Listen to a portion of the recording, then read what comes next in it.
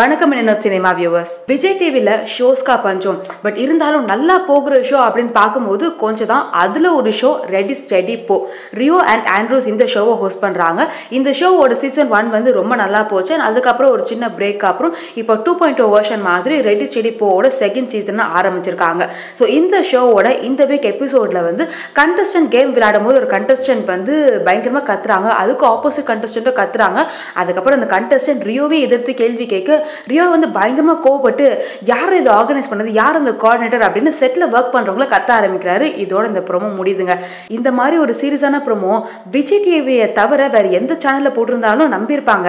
But இருந்தாலும் விஜய் டிவியில் இந்த மாதிரி ஒரு ப்ரோமோ போடுறாங்க அப்படின்னும் போது கண்டிப்பாக டிஆர்பிக்காக தான்டா அப்படின்றத கமெண்ட்டாக எல்லாருமே பண்ணுறாங்க விஜய் டிவி இந்த ப்ரோமோவை சோஷியல் மீடியாவில் ஷேர் பண்ணும்போதே என்னடா இது ரியோவே கோவப்படுத்திட்டீங்க அப்படின்னு சொல்லி ஃபன்னியாக தான் ஷேர் பண்ணியிருக்காங்க.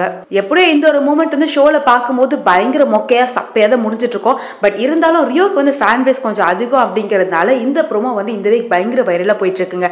நீங்கள் நீங்க என்ன நினைக்கிறீங்க? நிஜமாவே ஒரு சண்டை அந்த செட்டில் நடந்திருக்குமா? இல்லை ஆஸ் யூஷுவல் விஜய் டிவி டிஆர்பிக்காக தான் பண்ணுதா? அப்படிங்கிறத கமெண்ட் பண்ணுங்க. இதே மாதிரி நிறைய அப்டேட்ஸ்லாம் தெரிஞ்சுக்க இன்னும் சினிமாவுக்கு சப்ஸ்கிரைப் பண்ணுங்க.